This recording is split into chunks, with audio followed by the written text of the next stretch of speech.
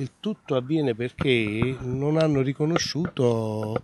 quel bambino come proprio, in quanto loro marcano un territorio e quel territorio è di proprietà soltanto di,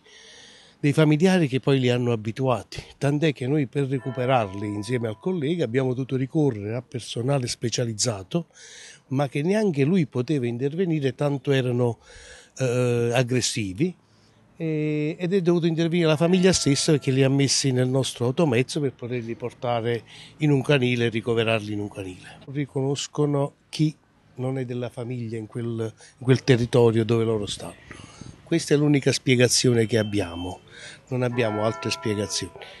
Il problema è che sono state, come dire, abituate a dire questo territorio è nostro e nessuno lo deve toccare. Il problema è che adesso eh, quei cani dovranno subire un percorso con un veterinario comportamentalista e i proprietari per ripigliare il cane, sempre naturalmente magistratura permettendo, perché ci dobbiamo raccordare con i magistrati che hanno sequestrato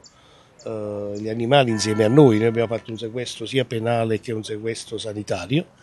e dopodiché se i proprietari sottoporranno a un percorso che porta a poter gestire quel tipo di animale potrebbero in teoria anche essere ridati a loro, altrimenti dobbiamo investire su qualche associazione animalista per poterli assegnare a chi è capace di poter tenere questi animali.